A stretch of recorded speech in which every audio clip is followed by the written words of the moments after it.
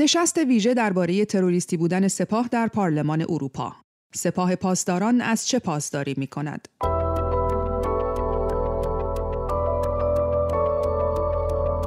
سلام من توبا زکیپور با برنامه دیدگاه همراه شما هستم. روز جمعه هفتم بهمن نشست ویژه‌ای با عنوان سپاه پاسداران از چه پاسداری می کند در مقر پارلمان اروپا در بروکسل برگزار شد.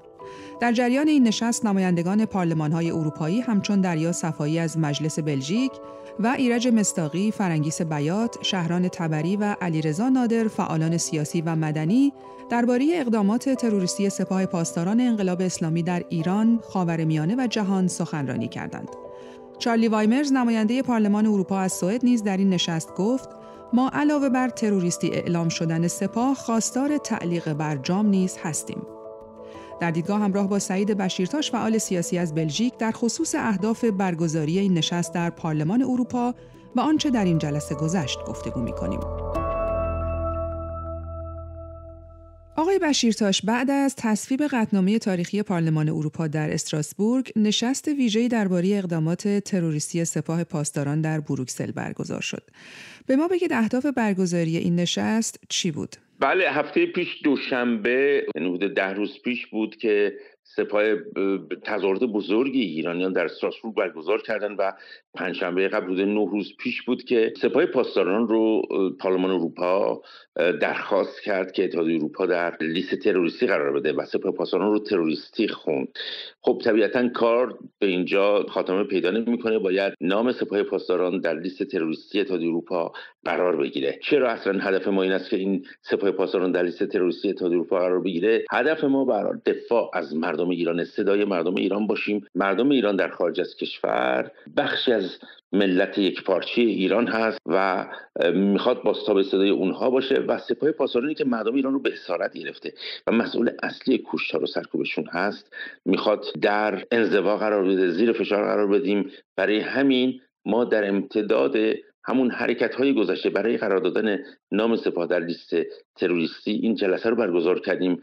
برای اینکه دلایل کافی برای متقاعد کردن اتحادیه اروپا رو ارائه بدیم. باز هم کار وجود داره. روز 20 فوریه هم تظاهرات بزرگی رو در بروکسل برگزار خواهند کرد و ایرانیان برای اینکه اتحادیه اروپا در اون روز وزیران خارجش جلسه دارن و ببینن که مردم ایران چه می‌خواهند. این هم در امتداد همون مسیری هستش که امیدواریم به نتیجه برسیم و سپاه رو در لیست تروریستی بتونیم قرار بدیم آقای بشیرتاش دعوت شدگان به این نشست درباره چه مسائلی صحبت کردن؟ این نشست به دعوت همبستگی برای آزادی ایران جبهه هفته آبان برگزار و مدیریت شد که آقای فرد پتروسیان از اعضای جبهه هفته آبان مدیریتش رو داشت مجری بود. خانم دریا صفایی و همینطور وایمرز نماینده سوئدی پارلمان اروپا و همینطور آریف نماینده پارلمانی اروپا از کشور اوکراین. از سخنرانان بودند و از فعالان سیاسی هم خانم فرنگیس بیاد شهران تبری که اینها هم از اعضای و همون جبهه هفته آبان هستند. همینطور خود من آقای خانم توکلی آقای نجدی آقای مستاقی نادر و آقای اینا افرادی بودن که صحبت کردند و درباره چه مسائلی اصلا موضوع برنامه ماهیت سپاه پاسداران بود. چون واقعا ماهیت سپاه پاسداران رو بعضا در اروپا نمی‌شناسن. خیال می‌کنن یک ارتش کلاسیک یک ارتش ملی مثل بقیه ارتش ها در حالی که اونجا صحبت شد سخنرانان صحبت کردن که اصلا این یک ارتش ملی نیست.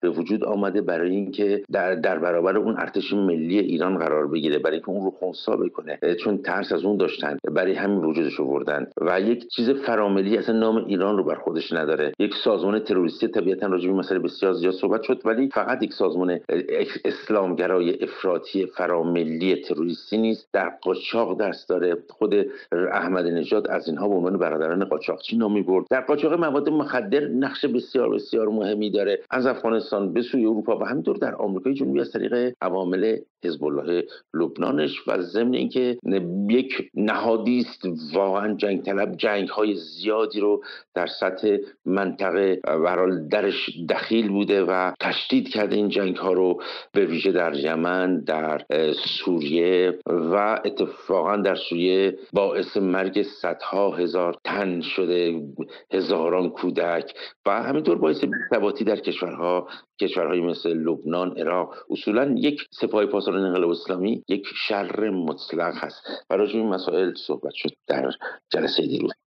خب چه دلایلی در این نشست مطرح شد آقای بشیرتاش برای اینکه اروپایی ها رو در واقع متقاعد بکنید که سپاه پاسداران تروریستی اعلام بشه؟ یکی از ویژگی های سپاه پاسداران چون همجور که گفتم ویژگی های زیادی داره واقعا یک سازمان مافیایی تبهکار هست ولی یک سازمان تروریست هم روی زمین های این ویژگی و جنبه تروریسم سپاه پاسداران تاکید زیادی شد و اینکه گفته شد که اصلا تروریسم در دی ان ای سپاه پاسداران هست. از بنیانگذارانش که تروریست بودند گروه تویدی صف رو داشتند. همون کسانی بودند که در رستوران خانسالار بم میگذاشتن شهروندان عادی رو میکشتند مراکز تفریحی در کارخانه ها اینها کسانی بودند که آمدن سپاه پاسداران رو به وجود آوردند و بلافاصله بعد از وجود آوردنشون در عرض مدت کوتاهی سازمان های تروریستی مختلفی رو دور هم جمع کردند به نام زیر نهضت های آزادی بخش. و بعدش هم که سپاه قدس آمد جایگزین نسبت های آزادی بخش شد که این سپاه قدس خودش واقعا بخش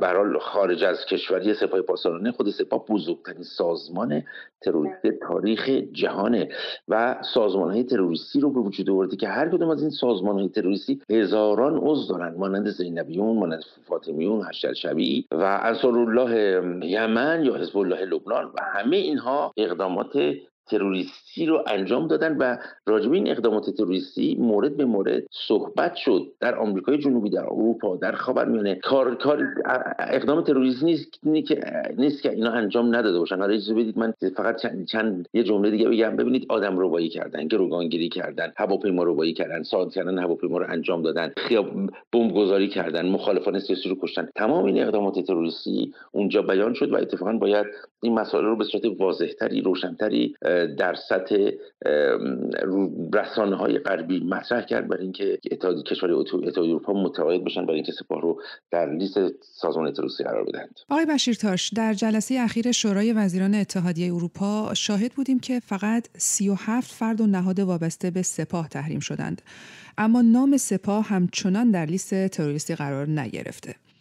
الان مشخصا چه موانعی برای قرار دادن نام سپاه در لیست های تروریستی اروپا وجود داره و چطور میشه این موانع رو برطرف کرد؟ به همین که هفت فرد و نهاد وابسته که بعضشون هم کارهای برال سایبری انجام میدن کارهای فعالیت مختلف دیگه انجام میدن خودش یک اقدام مثبتی بود و یک پیروزی هست برای مردم ایران البته که کافی نیست طبیعتا کافی نیست. چه موانعی وجود داره برای اینکه نام سپاه پاسداران در لیست تروریستی سازمان تروریستی قرار بگیره؟ واقعیت این است که مانع اصلی یک اراده سیاسی است. این اراده سیاسی هنوز به وجود نیامده در بعضی از کشورها به وجود اومده. مثلا هلند به صورت جدی می‌خواد که سپاه پاسداران در لیست سازمان تروریستی قرار بگیره.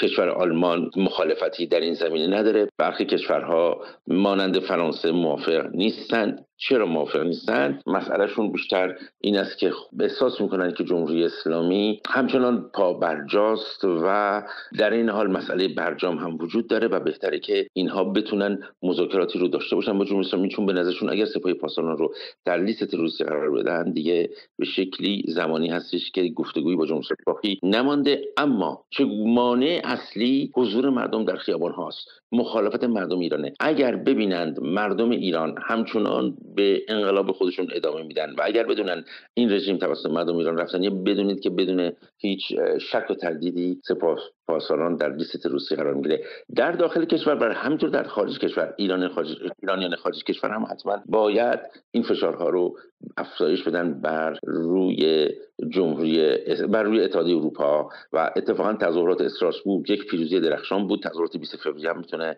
همین گونه یک پیروزی درخشان دیگه باشه. خب می‌دونیم که جوزف بورویل اخیرا گفتش که برای تروریستی اعلام کردن سپاه رأی دادگاه لازمه. نظر شما درباره این نظر آقای بورل چیه؟ ببینید یکی از راه ها محکومیت در دادگاه اما فقط یکی از راه ها اتفاقا اکثر سازمان ها و افرادی که به در لیست روسیه تا اروپا قرار دارن اصلا محکومیت دادگاه ندارن.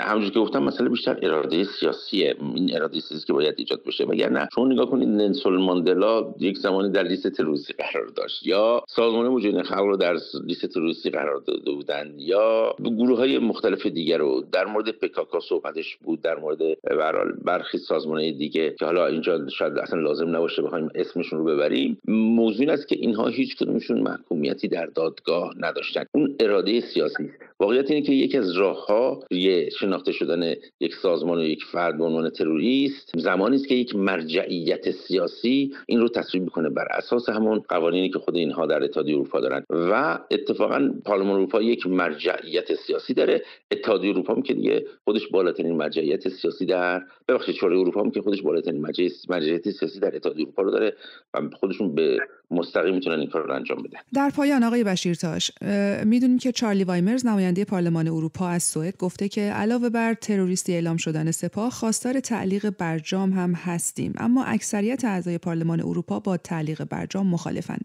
دلیل این مخالفت ها چیه ببینید برخی در جمهور اروپا احساس می‌کنن که جمهوری اسلامی همچنان ماندنی هست نیروی جایگزینی برای جمهوری اسلامی وجود نداره آلترناتیو مشخصی هنوز وجود نداره و در اینچه تا زمانی که جمهوری اسلامی وجود داره باید باش یک سری مسائل امنیتی رو حداقل حل فصل کرد که مهمترینش مسئله عدم دستیابی جمهوری اسلامی به بمب اتم هست و در نتیجه باید در مورد برجام باش مذاکره کرد. تا زمانی که این گونه فکر می‌کنن تا زمانی که احساس می‌کنن جمهوری اسلامی ممکنه ماندنی باشه و باید بهش با برجام توافق کرد این مسئله ادامه خواهد داشت چون احساس می‌کنن اگر برجام به نتیجه نرسید نتیجه جایگزینی جز جنگ وجود نداره بسیار سپاسگزارم از شما سعید بشیرتاش فعال سیاسی از بروکسل بلژیک من توبا زکیپور از طرف خودم و رضا اکوانیان تهیه کننده این برنامه دیدگاه از همراهی شما تشکر می کنم.